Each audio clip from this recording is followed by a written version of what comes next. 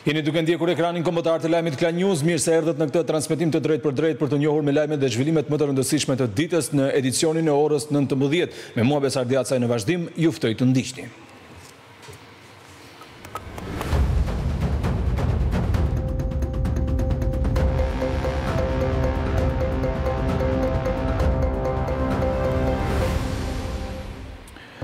Po luhet pjesa e dytë e sfidës Gjeorgji-Shqipëri, ndërsa pjesa e parë është mbyllur pa gola. Kombëtarja jonë ka pasur disa raste të pastra shënim, por portieri dhe mbrojtja vendase u treguan të kujdesshme. Ndeshja po transmetohet në TV Klan. Kancelari gjerman Olaf Scholz ka pritur liderët e vendeve të Ballkanit Perëndimor, ndër ta edhe kryeministrin Edi Rama. Në kuadër të samitit të Berlinit u miratua plani i veprimit për tregun e përbashkët rajonal. Scholz ka vlerësuar zhvillimet që ka pësuar rajoni. Është nisur nga Lampedusa e Italisë anija e parë me emigrantë e cila pritet të mbërrijë në portin e Shëngjinit ditën e mërkurë. Në bordin e saj janë kryesisht azilkërkues nga Egjipti. Zëvendës kryeministrja Belinda Balluku ka theksuar se Unaza e Madhe e Tiranës përfundon në fund të këtij viti. Ajo ka inspektuar kantierin e lotit gjashtë që lidh zonën e Dajtit ku kanë përfunduar 70 për qind e punimeve.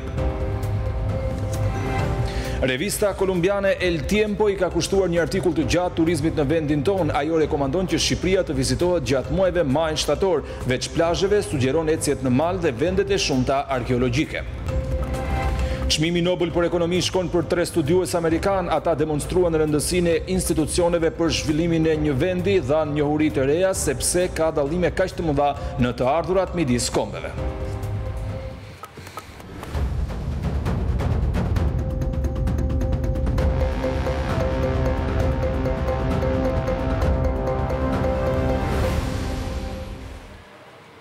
Do të shohim në mënyrë më të zgjeruar të gjitha materialet e përgatitura nga Departamenti i Lajmeve, teksa nga momenti në moment pritet të nisë pjesa e dytë e ndeshjes midis Gjeorgjisë dhe Shqipërisë e vlefshme për Ligën e Kombeve, teksa pjesa e parë është mbyllur pa gola. Takimi në fakt nisi shumë mirë për kombëtaren tonë, ku Tuci pati edhe dy raste shënimi, por është ndalur nga portieri vendas. Ekipi gjeorgjian u përpoq të dilte me kundërsulm. Pas minutës së njëzet e pestë, loja qe e barabartë me të dyja ekipet që kanë kërkuar golin. Silvinjo ka aktivizuar në repartin ofensiv Indrit Tucin, ndërsa ndryshime ka patur edhe në repartin e mbrojtjes. Balliu aktivizohet në vend të Hysajt dhe Ajeti zëvendëson Kumbullën. Teksa në këto momente pritet të nisë pra edhe pjesa e dytë në televizionin kombëtar Klan, aty ku kjo ndeshje është duke u transmetuar falas për të gjithë tifozët, teksa këto janë pamjet e drejtpërdrejta që tregojnë se futbollistët janë duke bërë edhe përgatitjet e momenteve, sekondave të fundit derisa të nisë pjesa e dytë. Shohim Ylber Ramadanin në këto momente, i cili pra siç e bëjnë në fakt edhe futbollistë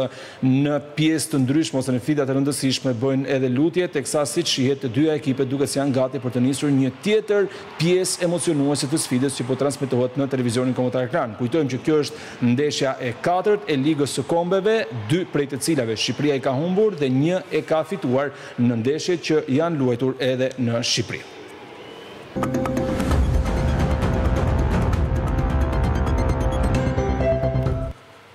Do të ndryshojmë temën e informacioneve tona dhe flasim për zhvillimet nga politika. Në selinë e qeverisë gjermane, kancelari Olaf Scholz ka pritur liderët e Ballkanit Perëndimor, mes tyre dhe kryeministrin e Shqipërisë Edi Rama.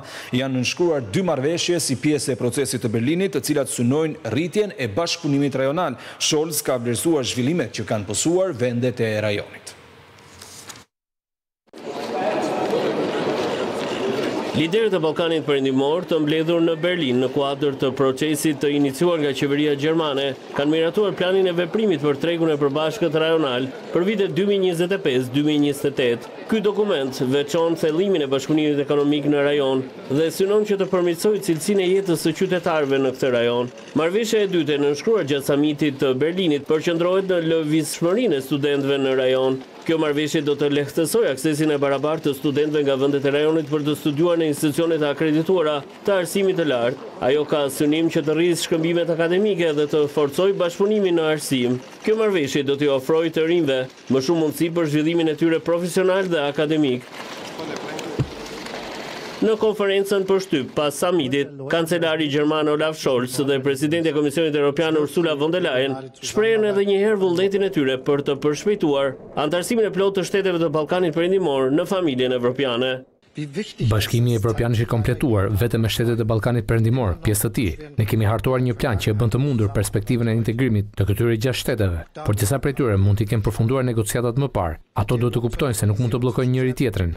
Pa dyshim ne kemi parë gjatë këtyre njëzet viteve një periudhë të gjatë ku zgjerimi nuk ka qenë në krye të axhendës së BE-së, madje ishte lënë mënjanë si mundësi. Kjo qasje ka ndryshuar plotësisht dhe vitet e fundit, një nga sukseset e zgjerimit ka qenë rritja e prodhimit të brendshëm të shteteve që u anëtarësuan në BE, ndaj ne po punojmë për tregun e përbashkët mes këtyre gjashtë shteteve. Ne duhet që të mësojmë nga zgjerimi që ndodhi në vitin dy mijë e katër.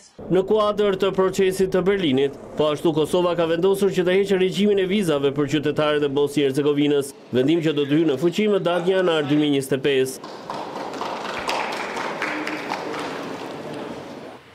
Shqipëria do të hedhë nesër një hap të rëndësishëm në integrimin drejt Bashkimit Evropian, vendi ynë do të mbajë në Luksemburg konferencën e dytë ndërqeveritare me Bashkimin Evropian, e cila do të shqyrtojë edhe kapitujt e parë të anëtarësimit.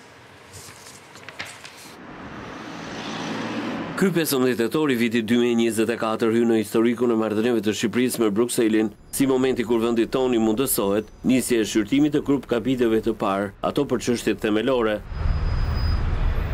Një rrugë e gjatë që nis në vitin një mijë e nëntëqind e nëntëdhjetë e një. Kohë kur Shqipëria vendosi marrëdhënie diplomatike me Komunitetin Evropian të asaj kohe. Pas pesëmbëdhjetë vitesh, më datë dymbëdhjetë qershor të vitit dy mijë e gjashtë, vendi ynë arriti që të nënshkruajë Marrëveshjen e Stabilizim Asocimit me Bashkimin Evropian. Në këto tre dekada, Bashkimi Evropian është donatori më i madh financiar i vendit tonë. Janë dashur tre vite që më njëzet e tetë prill të vitit dy mijë e nëntë në Pragë gjatë presidencës çeke, Shqipëria të aplikonte zyrtarisht për marrjen e statusit kandidat për anëtarësimin në Bashkimin Evropian. Ndërkohë në muajin dhjetor të vitit dy mijë e dhjetë u materializua edhe liberalizimi i vizave për shqiptarët në zonën Shengen. Pas pesë vitesh pritje, më datë njëzet e katër qershor të vitit dy mijë e katërmbëdhjetë, Shqipëria do të merrte statusin e vendit kandidat. Përpjekjet e Shqipërisë dhe vendeve të tjera të Ballkanit Perëndimor për anëtarësim në Bashkimin Evropian janë ndikuar ndjeshëm edhe nga dinamikat e zhvillimeve në gjirin e vetë shteteve anëtare të kësaj organizate. Vendi ynë nuk arriti për dhjetë vitet në vijim që nga viti dy mijë e katërmbëdhjetë të merrte një datë për hapjen faktike të negociatave. I penguar edhe nga vetoja e Francës e Hollandës, e deklaruar që në vitin dy mijë e tetëmbëdhjetë, me pretendimet për rezultate të pakta konkrete në luftën ndaj krimit dhe korrupsionit në vend, We are, as far as the Commission is concerned, very impressed by the progress Albania is making. Për Shqipërinë kushtet themelore të asaj kohe përfshinin hartimin dhe zbatimin e një reforme zgjedhore, rezultatet konkrete në luftën ndaj krimit dhe korrupsionit, krijimin e Prokurorisë Speciale Antikorrupsion, SPAK, Byrosë Kombëtare të Hetimit, Përparimin në çështjen e Vettingut, ndjekjen penale të prokurorëve dhe gjyqtarëve të përjashtuar nga ky proces. Shqipëria vijoi më pas të realizojë reformat e kërkuara, sidomos atë në drejtësi, me ecurinë drejt fundit të procesit të Vettingut, krijimin e Prokurorisë Speciale kundër Krimit të Organizuar dhe Korrupsionit, SPAK, Byrosë Kombëtare të Hetimit, si dhe ndëshkimin e disa prej personaliteteve politike për akte korruptive. Këto rezultate bënë të mundur, që Brukseli në progres raportet e publikuara në vitet e fundit, të japë nota pozitive për Shqipërinë, Por pengesë për hapjen faktike të negociatave sërish mbeten problemet e krijuara me shtetet fqinjë si Greqia. Edhe pse Shqipëria nuk ka forca politike antiperëndimore, këto vonesa në procesin e integrimit janë ndërlidhur edhe me mungesën e konsensusit politik mes partive kryesore në vend për reformat e kërkuara nga Bashkimi Evropian. Sfidat e integrimit evropian edhe në vitet në vijim, do të kenë të bëjnë me përparimin e Shqipërisë në konsolidimin e demokracisë, sundimin e ligjit dhe funksionimin e ekonomisë së tregut. Shqipëria pretendon që të anëtarësohet në Bashkimin Evropian në vitin dy mijë e tridhjetë. Presidenti i Republikës së Shqipërisë, Bajram Begaj, ka kthyer në Parlament ligjin për inspektimet. Kreu i shtetit thotë se nuk ka pasur konsultim publik, nuk ka procedurë të veçantë shqyrtimi dhe nuk është bërë analiza e kostos financiare, thuhet në dekret. Ligji është miratuar në Parlament më datën trembëdhjetë shtator dhe sipas qeverisë ndryshon marrëdhënien e trupave të inspektimit me biznesin dhe sipërmarrjen. Parashikohen më pak inspektime, jo masa administrative, por paralajmërim dhe lënie detyresh me qëllim vetërregullimin dhe vetëformalizimin.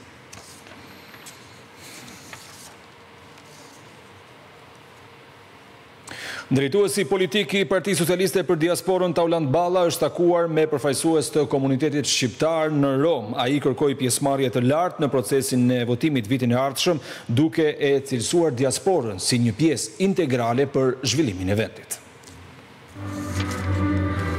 Në vijim të turit të takimeve me diasporën, ministri i Shtetit për Marrëdhëniet me Parlamentin dhe drejtuesi politik i Partisë Socialiste për Diasporën, Taulant Balla u takua me aktivistë dhe përfaqësues të komunitetit shqiptar që jeton dhe punon në Romë. Gjatë fjalës së tij, Balla foli për votën e diasporës e cila do të nisë zbatimin në zgjedhjet e vitit të ardhshëm. Dëgjoj shpesh disa prej atyre që jetojnë në Shqipëri dhe thonë po po pse duhet kjo vota e këtyre që jetojnë jashtë këta nuk rrinë këtu pse këta do vendosin emrin tonë?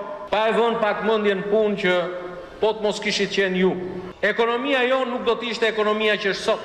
Teksa bëri thirrje për pjesëmarrje masive në votimet e vitit që vjen, Balla nënvizoi përparimin e vendit në arenën ndërkombëtare, duke përmendur hapjen zyrtare të kapitujve të parë të negociatave për anëtarësimin në Bashkimin Europian si një arritje e rëndësishme. Shqipëria sot është shumë më e respektuar në arenën ndërkombëtare se sa ka qenë vite më parë. Shqipëria në javën që nisim hap zyrtarisht kapitujt e parë e marrëveshjes për t'u anëtarësuar në Bashkimin Europian, ne synojmë me Edi Ramën kryeministër ta përmbyllim deri në vitin dy mijë e tridhjetë. Ministri Balla theksoi suksesin e jashtëzakonshëm të Shqipërisë në turizëm, e cila ka kapërcyer imazhin negativ që dikur shfaqej në mediat ndërkombëtare, veçanërisht në ato italiane, duke u kthyer në një destinacion të preferuar për pushimet.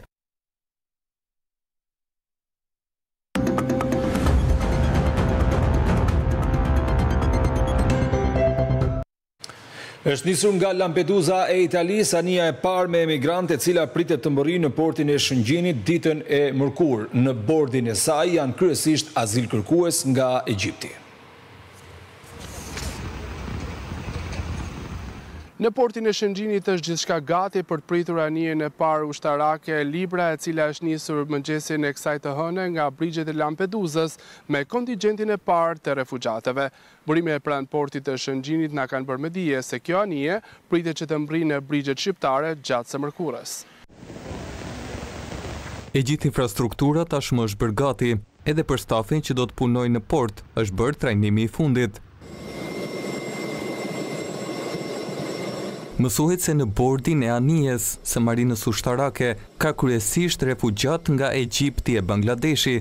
ndërsa ata iu nënshtruan kontrollit fillestar në Lampedusa. Pas mbërritjes në portin e Shëngjinit, emigrantët do të regjistrohen e më pas do t'iu nënshtrohen kontrolleve shëndetësore. Mësohet se kjo procedurë zgjat deri në njëzet e katër orë e më pas emigrantët do të drejtohen për në kampin në zonën e Gjadrit. Edhe në këtë strukturë, gjithçka është bërë tashmë gati, punimet përfunduan javën e kaluar dhe objekti u mor në dorëzim nga autoritetet italiane. Kampi është ndërtuar me elementë të shtuar sigurie, me një mur rreth shtatë metër të lartë, e po ashtu janë vendosur edhe kamera e pajisje të tjera për sigurinë. Ndryshe nga qendra pritëse në Shëngjin që ishte gati që në qershor, punimet në kampin e Gjadrit vonuan, për shkak të problemeve gjeologjike që hasi kompania që bënte ndërtimin.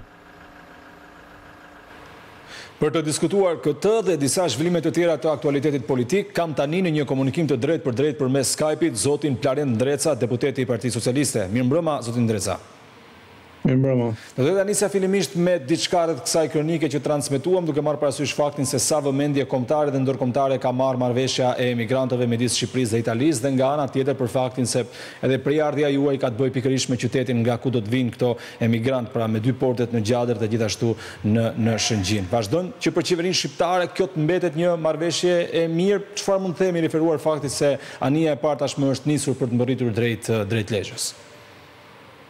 Kjo si fillim prejardhja ime është nga Mirdita, jo nga Lezha, po. Dakor, qarku pra, se unë e kuptoj shumë mirë, se edhe Shëngjinin po ta ndajmë, edhe Shëngjini do të kërkojë do të kërkojë pavarësinë e vet, po. Sigurisht që mbetet një marrëveshje e duhur midis dy shteteve partnere, historikisht partnere, midis dy shteteve që kanë shkëmbyer marrëdhënie historike shumë pozitive dhe kanë qenë krah njëra tjetrës, që është e vërteta Italia ka qenë shumë herë më shpesh se sa ne në krahët tonë, ne në përputhje me kapacitetet tona si shtet, kemi shprehur mirënjohjen, kemi shprehur falënderimet, kemi bërë dhe gjeste mirënjohje, siç është edhe ky rast. Pra, ashtu siç e ka shpjeguar shumë mirë dhe shpesh edhe kryeministri i vendit, ky është një, le të themi, një shprehje mirënjohje për gjithë çfarë Italia ka bërë historikisht për për ne, dhe mbetet një marrëveshje e cila sado pak i jep një ndihmë shtetit italian në krizën e madhe që ka ky shtet, por jo vetëm ai, po e gjithë Europa me me emigrantët. Por tenton të jap një gjest solidariteti për t'i dhënë një dorë me sa mundësi ne kishim dhe kemi për ta ndihmuar partnerin tonë, mikun tonë, Italinë pra në këtë situatë që nuk është e lehtë dhe për atë, por për gjithë Europën pra. Duke marrë parasysh faktin se kjo është një marrëveshje nga ana e së cilës kryeministri Edi Rama ka deklaruar se Shqipëria përtej pjesës po themi që nuk shpenzon gjë dhe përtej mirënjohjes që fiton nga pala italiane, por edhe në aspektin ndërkombëtar, nuk është se ka ndonjë përfitim po themi të drejtpërdrejtë monetar. Në qoftë se vende të tjera mund të ofrohen për ta realizuar një marrëveshje të tillë edhe kundrejt ndoshta ndonjë shpërblimi financiar që mund të përfitojë vendi, mbetet e hapur qeveria ose Partia Socialiste si mazhorancë qeverisëse për ta diskutuar ndonjë opsion të tillë në ndonjë zonë tjetër të vendit, zoti Ndreca? Nuk mendoj se ka lidhje me përfitime financiare, marrëveshje të kësaj natyre. Unë e thashë dhe është thënë nga edhe nga kryeministri po edhe përfaqësuesit tjerë të qeverisë që është një marrëveshje ekskluzive për Italinë, e cila lidhet me marrëdhënien që ne kemi me këtë shtet dhe lidhjet e forta që na karakterizojnë për shkak të një marrëdhënie të gjatë dhe dhe le të themi një privilegj që ka shteti italian me në raport me shtetet tjera me Shqipërinë. Kështu që nuk mendoj që është çështje parash apo çështje financimesh, marrëveshje të kësaj natyre.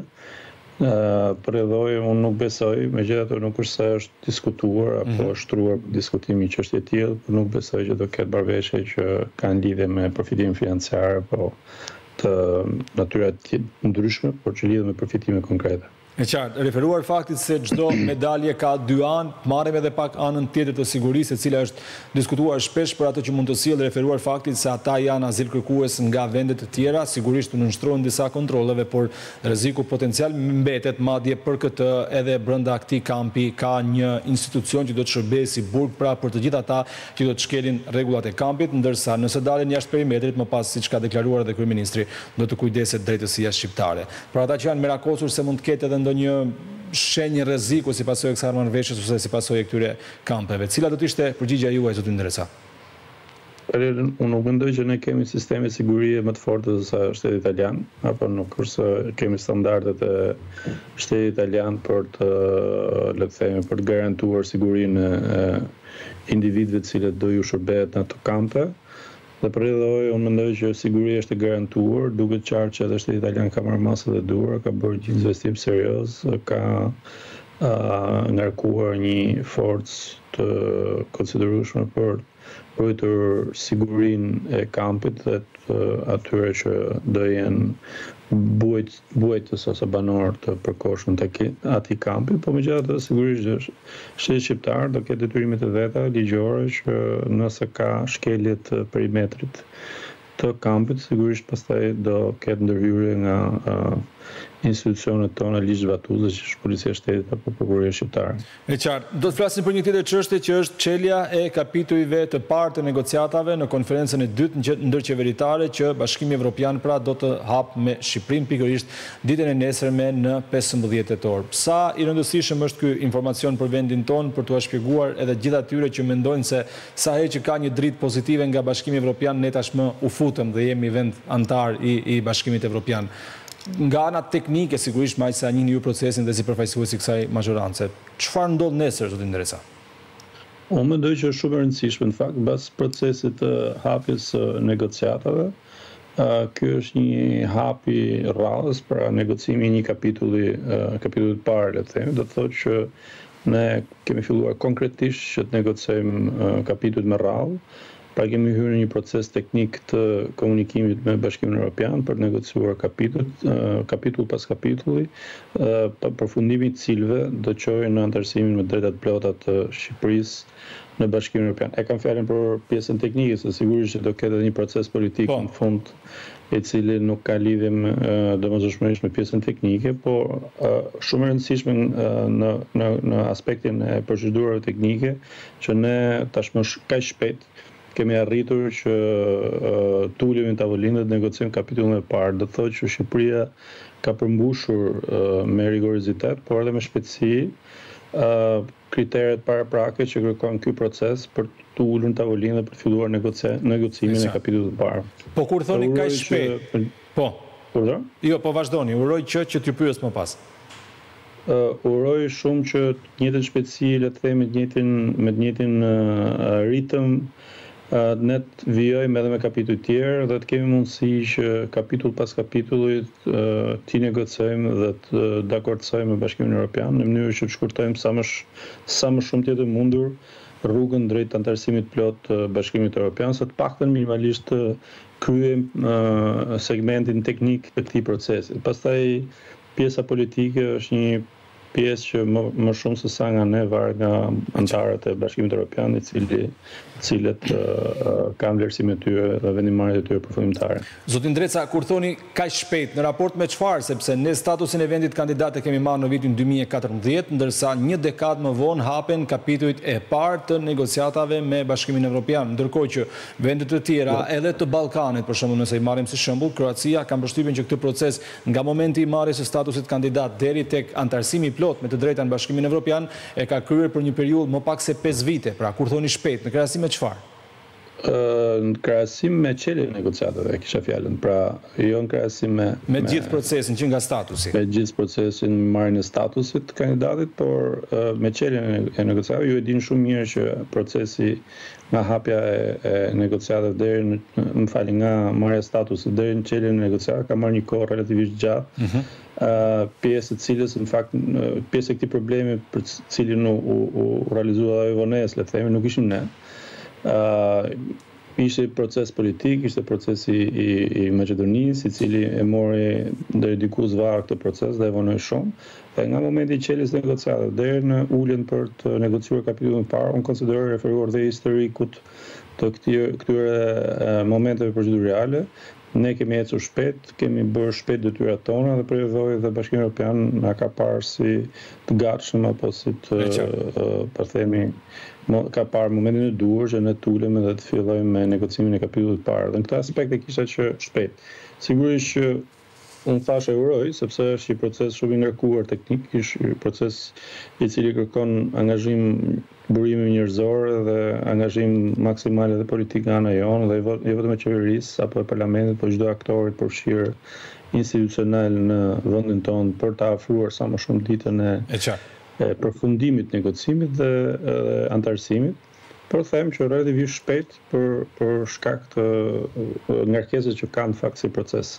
Kur thoni mazhoranca ka ecur shpejt, këtu përfshini edhe raportin, marrëdhëniet me opozitën të cilat në fakt kanë qenë tejet të tensionuara dhe vazhdojnë të jenë të tensionuara edhe gjatë kohës që po flasim përderisa ata kanë treguar që përveç se do të vazhdojnë protestat nuk do të lejojnë zhvillimin e seancave normale. Teksa kujtojmë që edhe më gjashtë dhjetor të vitit dy mijë e njëzet e dy kur pati një takim të liderëve të Bashkimit Evropian Pra një samit me ato të Ballkanit Perëndimor, opozita ka zhvilluar një proces. A i ka fryrë mazhoranca zjarrit të marrëdhënieve me opozitën, ndoshta herë me dashje, herë pa dashje, por që sidoqoftë ka dhe ajo pjesën e saj të përgjegjësisë në raport me atë që shpeshherë është komentuar ose është bërë thirrje edhe nga faktori ndërkombëtar që gjuha politike duhet të mbizotërojë mes mazhorancës dhe opozitës në vendin tonë, zoti Ndreca? Kur thashë që kemi bërë detyrat e kisha fjalën për shtetin shqiptar, në fakt jo thjesht për mazhorancën, po shteti shqiptar i ka bërë detyrat shpejt, po patjetër që mazhoranca qeveria pra dhe parlamenti kanë barrën më të madhe në gjithë faktorët e tjerë institucionalë. Ndërkohë që sa i përket argumentit tuaj që ka të bëjë me me marrëdhëniet me opozitën, unë nuk di se ku është Pesha dhe ku është përgjegjësia jonë në raport me me opozitën, opozita është në këtë fazë apo në këtë krizë do e quaja unë, për shkak të një vendimi të Gjykatës së Apelit, kështu që unë nuk di ku është roli i mazhorancës që ta tensionojë apo ta po themi ta ta shtensionojë marrëdhënien me opozitën. Ne kemi detyrim që të respektojmë ato çfarë detyrimesh ne kemi në raport me Kushtetutën së pari, me ligjin, me votuesit tanë dhe me sjelljen sjelljet politike që një mazhorancë duhet të ketë. Pastaj sigurisht ne jemi të hapur për bashkëpunim në çdo aspekt me opozitën. por jo në kurriz të Kushtetutës, jo në kurriz të ligjit dhe jo në kurriz të asaj çfarë ne përfaqësojmë si si mazhorancë dhe çfarë përfaqësojmë në raport me qytetarët na kanë votuar. Kështu që unë nuk e kuptoj realisht se kush është pjesa e përgjegjësisë tonë për sjelljen e opozitës. Ata kanë disa pretendime. E para, Sekretariati i Etikës sipas tyre ka dënuar pa qenë fare të pranishëm në ato që u cilësuan si akte dhune disa deputetë të Partisë Demokratike duke marrë parasysh se janë Njëzet e katër të dënuar, pra kemi tre të cilët janë me gjashtëdhjetë ditë, pjesa tjetër me nga dyzet ditë dhe gjithashtu zoti Paloka me dhjetë ditë. Fakti tjetër është që tek mbledhja e fundit e seancës plenare nuk u lejuan të hyjnë as deputetët që nuk e kishin një vendim përjashtimi dhe nga ana tjetër ata thonë se Partia Socialiste ka shkelur Kushtetutën duke mos iu drejtuar drejtpërsëdrejtë Gjykatës Kushtetuese për mandatin e deputetes Olta Xhaçka, por kanë shkuar te Komisioni i Venecias duke e gjetur si një artific sipas tyre për të mbrojtur kolegen tuaj socialiste. Pra, gjitha këto zhvillime i shikoni si peshë, po themi të mazhorancës në këtë raport të tensionuar me opozitën? Tani, sigurisht që keni detyrën për të bërë pyetjet dhe unë e mirëkuptoj, po unë nuk besoj që ka njeri në këtë vend që ka sy për të parë e vesh për të dëgjuar që Do duhet tani të flasim për procedurën kur nuk ka shqiptar që s'pa që u dogj u dogjën karriket para parlamentit nuk pa nuk ka shqiptar që nuk pa se si u gjuajt me këmbë karrike dhe me mikrofon kryetarja e kuvendit të Shqipërisë nuk pa shqiptar nuk besoj që ka shqiptar që nuk pa se si nuk u lejuan deputetët e mazhorancës kolegët e tyre të opozitës pra për të marrë fjalën e për të kryer detyrën e tyre.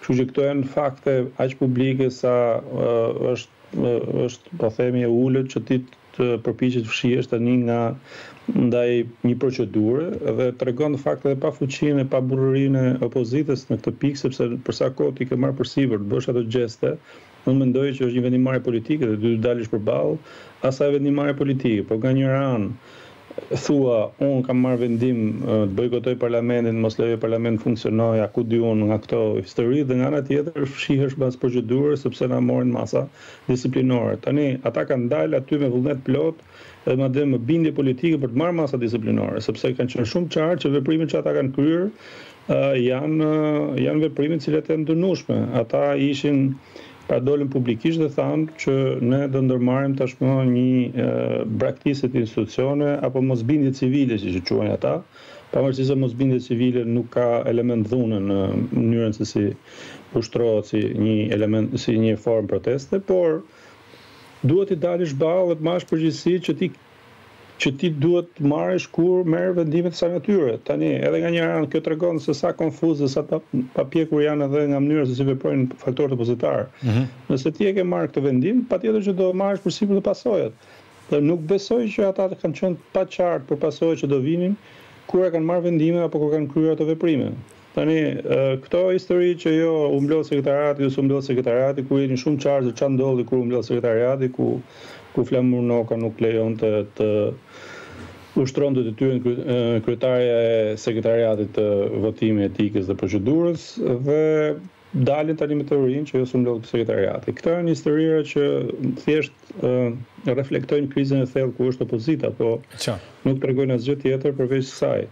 Mazhoranca përpiqet, jo po përpiqet, por po e ushtron në fakt detyrën, atë çfarë e kanë mandatuar qytetarët. Patjetër që opozita nëse ka zgjedhur këtë rrugë gjithmonë do gjejë, gjithmonë do gjejë justifikime, gjithmonë do gjejë elementë se si t'ia t'ia çojë krizën e vet, t'ia transmetojë mazhorancës, por duket qartë që kjo ngelet një krizë e opozitës, është krizë e brendshme e opozitës, jo krizë e mazhorancës, mazhoranca është solide, po ushtron detyrat e saj. Sigurisht asgjë nuk është perfekte në në këtë aspekt, gjithmonë ka vend për të përmirësuar, po unë mendoj që vetëm mënyra institucionale dhe adresimi institucional i gjitha problematikave që është e ushtrimi në mënyrë institucionale i i i të bërit opozitë është rruga më e mirë dhe më eficiente dhe më efektive në fakt për të realizuar opozitarizmin në Shqipëri. Dalja në rrugë po. nuk është opozitë institucionale. Pra dalja në rrugë në gjykimin tim është tradhti ndaj votës që qytetarët kanë dhënë opozitës për për të punuar në parlament. As nuk e diskutoni fare, nuk uleni në tryezë për kushtin e opozitës për qeveri teknike, zoti Ndreca? Kushti, po, po që, si të thuash, të kjo është një kërkesë aq absurde sa nuk di ça të them, se opozita mund të vejë edhe kushte të tjera që... Po, 2017-n e dhatë një farë qeverie teknike. Mos bëjmë zgjedhje, ta bëjmë marrëveshje bashkë në tavolinë me mazhorancën, se kush do qeverisi me radhë Shqipërinë. Po, ja që kushtetuta thotë, duhen zgjedhje. Ajo marrëveshje nuk bëhet se të dyja palët duan pushtet, kështu që besoj është praktikisht e pamundur po. Pse mos ta bëjnë marrëveshjen? Edhe në vitin dy mijë e shtatëmbëdhjetë që e dhatë një farë qeverie teknike, pra dhe ndoshta ky është një lloj precedenti që mund të mund t'u shërbejë atyre për të thënë që ne duam sërish qeveri teknike. Tani, arsyet dhe shkaqet se pse u bë ajo qeveria, që s'ishte teknike, po ishte një qeveri e cila pranoi ca pranoi ca ministra nga opozita, janë arsye të tjera, në kushte të tjera dhe për për për për një motiv tjetër. Tani ne po flasim për kushte kur në në këto kushte ku jemi, të bësh kërkesë që një, për një qeveri teknike, kur vetëm krizë qeveritare s'ka, është si të thuash hajde të shkelim kushtetutën dhe ta bëjmë si të gjykojmë ne, dy vjet ju, dy vjet ne, dhe s'po i pyesim edhe zgjedhësit fare. S'po dalim në zgjedhje fare, ndërkohë që ekzaktësisht votën ne për këtë punë e kemi marrë. Pra kemi shkuar para qytetarëve i kemi thënë kush do të qeverisë këtë vend. Qytetarët na kanë thënë do qeverisni ju. E qartë. Ne edhe po të duam, s'kemi si e lëshojmë këtë këtë të mandat që nuk është as i yni, thjesht na e kanë dhënë qytetarët për ta ushtruar. Zoti Ndreca, ata kanë paralajmëruar se në fakt nuk do të votojnë as buxhetin e vitit dy mijë e njëzet e pesë që zakonisht në fund të vitit paraardhës pra kalon në në Kuvend. A do të ketë përgjegjësi mazhoranca socialiste nëse Ligji më i rëndësishëm i vitit pasardhës që është buxheti i qytetarëve të kalojë në të njëjtën situatë që kaloi ai i vitit në të cilin jemi, pra në fund të vitit dy mijë e njëzet e tre mes tymuesve, mes flakadanëve, mes gjithë atyre skenave që pamë në Kuvendin e Shqipërisë, ndërkohë që më vonë kur ju deshën votat për amnistinë penale e gjetët ju mënyrën se si të bashkëpunoni me opozitën, u ulët dhe situata u rregullua. Ligji i buxhetit nuk është se është votuar ndonjëherë nga ndonjë opozitë Në dijeninë time edhe nëse ka një. Po të paktën relatorët kanë patur kohë të shprehen dhe të të diskutojnë jo thjesht miratim pa patur asnjë lloj diskutimi në Kuvendin e Shqipërisë. Nëse duan të shprehen aty i kanë vendet, se karriget nuk e di a i kanë akoma, po vendet aty i kanë mund të vijnë të shprehen. Po kjo nuk është në dorën tonë, pra kam përshtypjen që ata nuk duan vetë të vijnë të shprehen. Por ligji i buxhetit nuk është i rëndësishëm fare nga pikëpamja e numrave. Nga pikëpamja e, e debatit parlamentar, patjetër është i rëndësishëm, por gjithsesi ka një një ligj ku palët ndahen, është pikërisht ligji i buxhetit dhe në dijeninë time nuk është se ka ndodhur ndonjëherë që opozita të miratojë ligjin e buxhetit. Ë uh, se nëse do ndodhte një gjë e tillë, aty mund të akuzoheshim për një për një aleancë kështu të fshehtë apo koalicion. S'është se s'ka ndodhur në fakt. Për buxhetin nuk besoj. Për buxhetin jo, po sepse i keni votat e vetme, s'keni nevojë për pjesën e opozitës. Qartë, por nuk është thjesht çështje votash, por është qasje realisht ekzekutive ku palët ndahen, besoj, dhe nuk di ose të paktën nuk më kujtohet që të ketë ndodhur që opozita dhe mazhoranca të jenë bashkuar për buxhetin. Sa i përket pastaj marrëveshjeve në thonjëza që opozita me mazhorancën bëjnë kur ka ligje me shumicë të cilësuar, është marrëveshje e diktuar nga kushtetuta. E qartë. Sepse vetë kushtetuta të thotë për shkak të numrave që ti duhet të bësh marrëveshje, duhet të ulesh me palën tjetër dhe të pranosh pranosh, po themi, diskutim dhe përballje argumentesh me palën tjetër në mënyrë që të shkosh në një në një draft të përbashkët. E qartë. Kështu që unë nuk mendoj se ka ndonjë risi në këtë aspekt, nëse ata duan që edhe buxhetin ta kalojnë në mënyrë kështu në me me me me sjellje në sjellje dhune verbale është çështje e tyre, sigurisht që është vlerësim i tyre politik, patjetër që do marrin edhe kostot e veta politike për zgjedhjet që bëjnë, por nuk është se do sjellin ndonjë gjë ndryshe nga qasja e qeverisë apo nga qasja e mazhorancës në parlament. Dhe një pyetje të fundit zoti Ndreca, jeni interesuar gjatë këtyre ditëve për shëndetin e ish-kolegut tuaj socialist Jurgis Çyrbja? Ë, jam interesuar, sigurisht e kam pyetur në në cilësinë e kolegut, ë, më ka thënë që gjërat po shkojnë mirë, po jam në në kontroll le të themi ose janë për është në një proces vlerësimit të shëndetit të tij me me kontrolle të vazhdueshme, por nuk kam marrë informacion shumë konkret. Thjesht kam pyetur nga pikëpamja njerëzore dhe si koleg mbi çfarë ndodh me shëndetin e kolegut. Faleminderit shumë zoti Ndreca për këto minuta dhe meqenëse ndeshjen e humbëm të dy së bashku për shkak të kësaj interviste, Shqipëria ka bërë gol në minutën e dyzet e tetë me anë të Kristian Aslanit, kështu që Urime Shqipërisë. Faleminderit. Mbyllet, uroj që të mbyllet me këtë rezultat ose më thellë për ne. Të paktën të vazhdojmë të jemi pozitiv ne. Faleminderit, faleminderit zoti Ndreca. Faleminderit juve. Ishim me deputetin e Partisë Socialiste Plarent Ndreca i cili na u bashkua në këtë komunikim të drejtpërdrejtë për të folur për të gjitha zhvillimet e aktualitetit politik.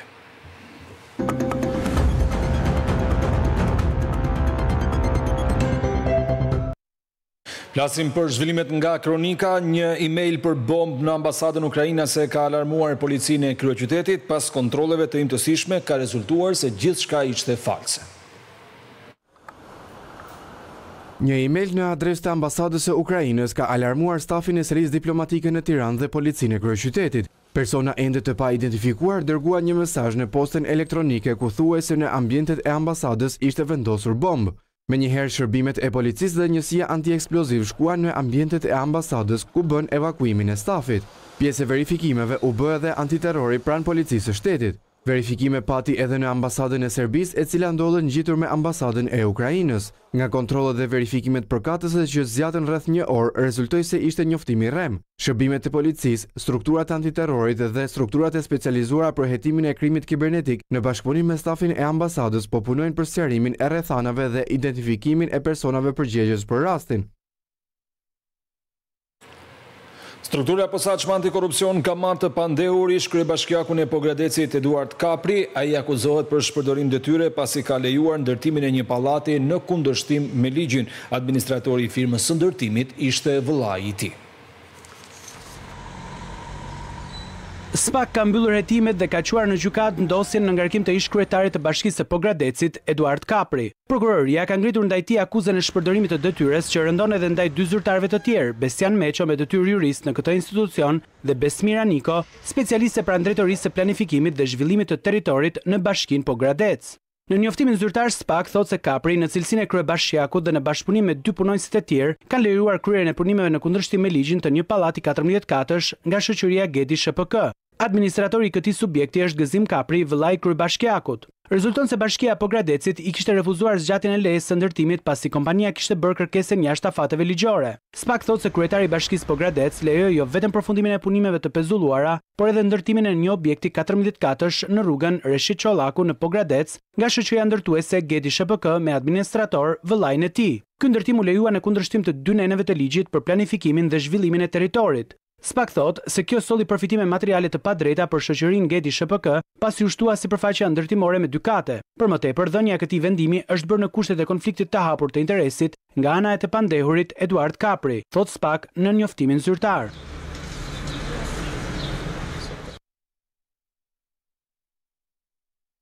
Së Egli Progës, ata kanë mohuar para togave të zeza akuzën, por hetimet e prokurorisë rezultuan se ata kishin fshirë pamjet e kamerave të sigurisë në vendin e ngjarjes.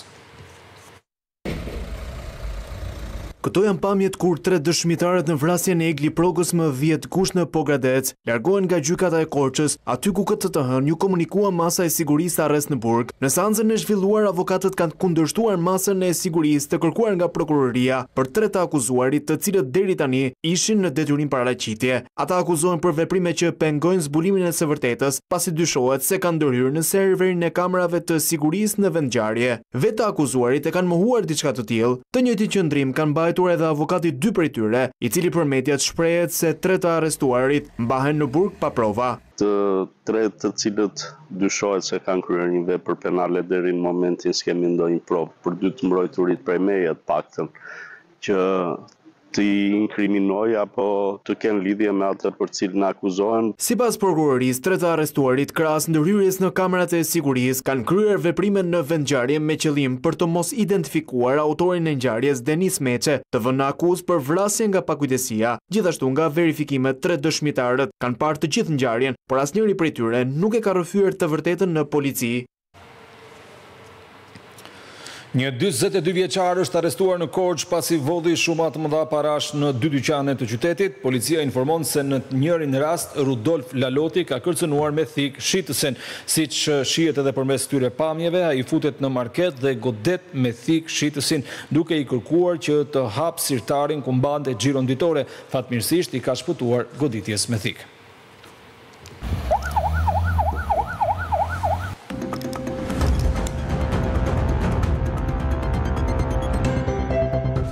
Do të ndryshojmë temën e informacioneve tona dhe flasim për zhvillimet nga ekonomia. Pemët e mbjella përgjatë autostradës Tiranë-Durrës do të spostohen për t'i hapur rrugë zgjerimit dhe rindërtimit të autostradës. Kryeministri Edi Rama ka publikuar pamjet nga puna e punonjësve të Bashkisë së Tiranës, të cilët këto pemë do t'i zhvendosin në disa pika të tjera të gjelbra të qytetit, duke nisur nga Parku i Liqenit. Autostrada do të zgjerohet me nga dy korsi në secilën anë, ku njëra do të shërbejë për emergjencat. Puna ka nisur në dy lotet e para, kthesa Kamëz-Vorë dhe Vorë-Sukth.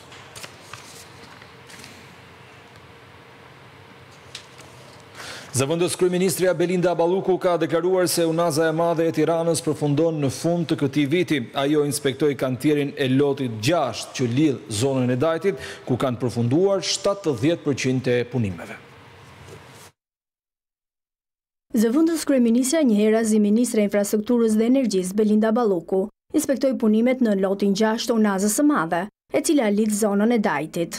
Sipas ministres Balluku, deri më tani janë kryer mbi shtatëdhjetë për qind e punimeve të Unazës, ndërkohë që në këtë lot, për të shmangur prishjen masive të banesave, Gjurma e punimeve ka ndjekur përroin e Gjerozës. E kemi zgjedhur pikërisht për qëndruar në shtratin e proit, pasi nëse do të shkonim majtas apo djatha intensiteti i prishjes së banesave do të ishte shumë i lartë. Autostradë, rrugë urbane të kategorisë A, duhet ta themi këtë, me shpejtësi njëqind e dyzet kilometra. Si në çdo rast, ne kemi vënë një afat për të gjithë Unazën, e cila duhet të përfundojë para mbarimit të këtij viti. Sipas Ballukut, përfundimi i Unazës së Madhe do të sjellë një reduktim të ndjeshëm të trafikut në Tiranë. Një objektiv tjetër në infrastrukturën urbane, e cila ndërlidhet në mënyrë moderne me të gjithë pjesën e infrastrukturës kombëtare, që janë autostradat që vijnë të gjitha në Tiranë apo dalin nga kryeqyteti. E rëndësishme është që të ruajmë të njëjtën linjë të sinjalistikës, të njëjtën linjë të mobilimit urban, pra ndriçim, gjelbrim dhe gjithçka tjetër. Ministrja Balluku tha se linja e re e tensionit të lartë në këtë segment do të jetë nëntokësore. Si pjesë e vizionit të Qeverisë Shqipëria dy mijë e tridhjetë, Korporata Shqiptare e Investimeve po krijon një model të ri në vendin tonë për administrimin e pronave publike. Sipas ministrit të Ekonomisë, Blendi Gonxhja, kjo korporatë do të jetë qendra më e rëndësishme e panaireve dhe ekspozitave në Ballkan, dhe do ta vendosë Shqipërinë në hartën e industrisë në zhvillim. Korporata Shqiptare e Investimeve po krijon një model të ri të administrimit të pronave publike, duke i orientuar ato drejt zhvillimit dhe krijimit të mundësive të reja. Sipas ministrit Blendi Gonxhja, kjo korporatë është pjesë e vizionit të qeverisë për Shqipërinë dy mijë e tridhjetë. Sot ne prezantojmë një projekt që është pjesë e vizionit të qeverisë për Shqipërinë dy mijë e tridhjetë. Expo Albania është padyshim një nga diamantët në kolanën e investimeve që pritet të realizohen përmes AIC-së dhe praktikës religjore. Ajo do të jetë qendra më e rëndësishme e panaireve dhe ekspozitave në Ballkan dhe do ta vendosë Shqipërinë në hartën e industrisë me rritje më të shpejtë, atë të panaireve dhe të ekspozitave. Industria e panaireve dhe ekspozitave përfaqëson sot një treg me vlerë dhjetëra miliardë euro dhe rreth tridhjetë e pesë mijë evente në vit. Ministria e Ekonomisë, Kulturës dhe Inovacionit do të vijojë të nxisë transformimin e zonave të braktisura në qendra zhvillimi përmes partneritetit publik-privat dhe do të mbështesë përzgjedhjen e partnerëve të përshtatshëm përmes garave të suksesshme ndërkombëtare. Në Tiranë është zhvilluar panairi Tirana Agro Fair, një event që mblodhi fermerë nga e gjithë Shqipëria dhe biznese të ndryshme. Kryetari i bashkisë Erion Veliaj ka deklaruar se synimi është promovimi i prodhimeve vendase dhe shërbimeve tradicionale shqiptare. Panairi Tirana Agro Fair, një event që mblodhi në kryeqytet fermerë nga e gjithë Shqipëria dhe biznese të ndryshme, u prezantuan produktet e freskëta dhe autoktone me vulën Made in Albania. Kryetari i Bashkisë së Tiranës, Erion Veliaj, gjatë vizitës në Panair, theksoi rëndësinë e mbështetjes së bizneseve të vogla dhe familjare për produktet lokale. Gjithmonë ftesa është Blini produkte lokale, ndihmoni bizneset e vogla, ndihmoni bizneset familjare. Kush blen një palë fiq ose kush blen pak kafe ose kush blen rakinë dhe verën, kush blen pak ushqime, nuk ka bërë vetëm shtrimin e tavolinës. Ka ndihmuar edhe një vajzë të vogël të blejë puantet për të shkuar në balet e librat e shkollës dhe ka blerë edhe një ka ndihmuar edhe një çun të vogël që të blejë këpucët e para të futbollit. Veliaj nënvizoi se falë mbështetjes dhe bashkëpunimit, projektet për Tiranën do të vijojnë.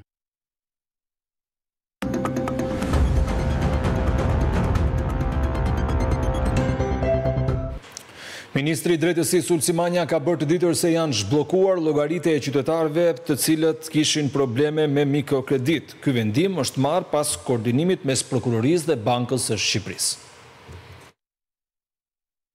Llogaritë bankare të qytetarëve të ndryshëm që ishin bllokuar për shkak të kredive të prapambetura nga institucionet e mikrokredive tashmë janë të zhbllokuara.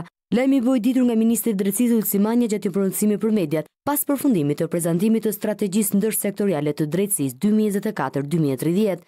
Në këtë procesin e mikrokredive sot që flasim nuk ka asnjë llogari bankare të bllokuar. Janë që të gjitha të zhbllokuara. Pasuritë sigurisht që kanë një procedurë tjetër. Ministri i Drejtësisë komentoi edhe vendimin e institucioneve të drejtësisë për të mos marrë pjesë në Komisionin e Posaçëm Antikorrupsion.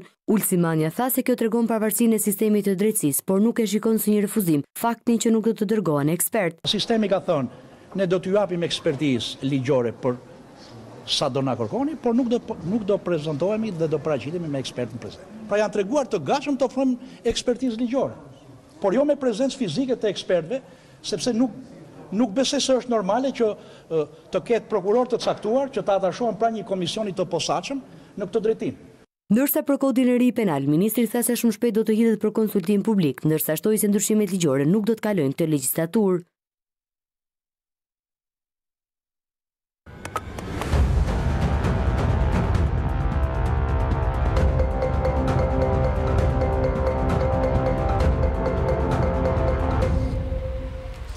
Hotelet në Durrës janë të rezervuara edhe gjatë muajve të vjeshtës, sipas operatorëve turistikë, ka shumë kërkesa nga vendet nordike. Moti me temperatura të larta ka bërë që sezoni turistik në Durrës të zgjatet edhe përtej muajve të verës. Operatorët turistikë në këtë qytet thonë se ka ende prenotime nga turistë të huaj kryesisht nga vendet nordike. Në muajin tetor që jemi tani aktualisht, okupanca e hoteleve, të paktën këtu hotelet në zonën e Durrësit është diku pesëdhjetë deri në gjashtëdhjetë për qind. Ku spikasin, po themi, pjesa më e madhe e turistëve janë turistët nordikë, gjermanë edhe një pjesë të turistëve sllovenë. Momentalisht ka, nuk janë në numër të, nuk janë në numër të madh, por që ka rezervime dhe ka turistë akoma në hotel. Për operatorët turistikë, përgatitjet për sezonin e vitit të ardhshëm duhet të nisin që tani, ndërsa ata përkrahin nismën e qeverisë shqiptare për një menaxhim të ri në plazhe. Plazhet do jenë të të më të kuruara, mendoj do jenë edhe më do do ofrojnë edhe një shërbim më profesional dhe do ketë edhe hapësira publike për të cilat siç e dimë ka ka pas mungesa kohët e fundit. Bizneset ofrojnë më shumë sistemim dhe rregull për pjesën e plazhit privat që ofrojnë dhe unë jam dakord me këtë gjë. Për operatorët turistikë në qytetin bregdetar të Durrësit, sezoni i këtij viti konsiderohet i suksesshëm, nisur edhe nga fluksi i lartë i turistëve, si atyre vendas nga rajoni e të huaj. Qytetarët dhe vizitorët në Vlorë i shfrytëzojnë ditët me diell duke shëtitur buzë detit. Mes tyre ka dhe turistë të huaj të cilat vlerësojnë edhe bukuritë e kryeqytetit. Ditët e ngrohta të këtij mes tetori kalohen buzë detit. Qytetarë e vizitorë në Vlorë e kanë shfrytëzuar motin me kushte të mira për të dalë për ecje në shëtitoren e qytetit. Në këtë periudhë është qetësi dhe kjo preferohet nga vizitorët.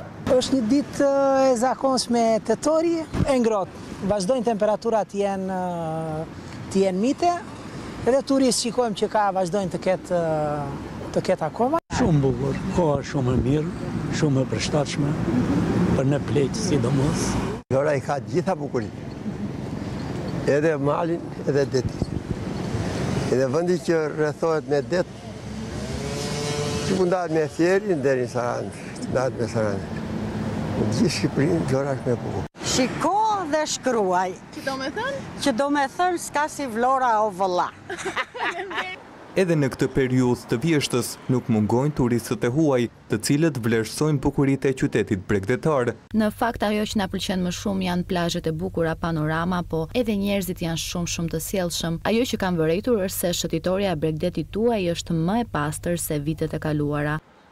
Autoritetet janë kujdesur që edhe në këtë periudhë të ketë aktivitete të ndryshme për të pritur sa më mirë vizitorët. Revista kolumbiane El Tiempo i ka kushtuar një artikull të gjatë turizmit në vendin tonë. Ajo rekomandon që Shqipëria të vizitohet gjatë muajve maj-shtator si periudha më e mirë e vitit. Thekson se, veç plazheve, turistët mund të shijojnë ecjet në mal dhe vendet e shumta arkeologjike. Shqipëria po shfaqet në turizmin ndërkombëtar si Karaibet e Europës dhe po konsolidohet në hartën turistike të kontinentit të vjetër. Kështu shkruan revista kolumbiane El Tiempo. Në artikull shkruhet se është relativisht më lirë sesa të vizitosh vendet e tjera të Europës dhe se mijëra vizitorë nga e gjithë bota vijnë për të zbuluar plazhet e saj të ëndrrave. Nëse udhëtoni nga Kolumbia, nuk keni nevojë për vizë të veçantë për të hyrë në Shqipëri, nevojitet vetëm një leje për të qëndruar në atë vend për nëntëdhjetë ditë. Në shkrim rekomandohet se koha më e mirë për të vizituar Shqipërinë është midis majit dhe shtatorit, qoftë për të zbuluar historinë përmes mbetjeve arkeologjike të qytetit antik të Apolonisë apo Butrintit, apo për të pushuar në një nga plazhet e Rivierës shqiptare. Një nga pikat më të spikatura në jug është Ksamili, me plazhet e bukura dhe tre ishujt. Edhe plazhi i Dhërmiut shquhet si një nga destinacionet më të njohura të Rivierës shqiptare me ujëra blu, ideale jo vetëm për qetësi, por edhe për aktivitete ujore. Gjithashtu Tirana, kryeqyteti paraqet një larmi atraksionesh turistike, Pika e nisjes për ta eksploruar mund të jetë sheshi Skënderbej, zemra e qytetit, nga ku mund të vizitoni Muzeun Historik Kombëtar dhe lagjen shumëngjyrëshe të Bllokut, i famshëm për jetën e natës. Por nuk duhet harruar dhe Berati, qyteti i një mbi një dritareve. Është një nga qytetet më të vjetra në Shqipëri, i njohur dhe nga UNESCO për arkitekturën e tij unike. Për adhuruesit e ecjes dhe natyrës, një tjetër pikë kryesore është Parku Kombëtar i Llogarasë, me pamje panoramike të Detit Jon dhe Rivierës mahnitëse shqiptare. Sipas të dhënave zyrtare, për periudhën janar-shtator dy mijë e njëzet e katër, janë regjistruar rreth nëntë pikë shtatë milionë vizitorë të huaj. Ishte gjithçka e përgatitur për këtë edicion. Bashkë ndajemi për momentin e rikthehemi me të tjera zhvillime.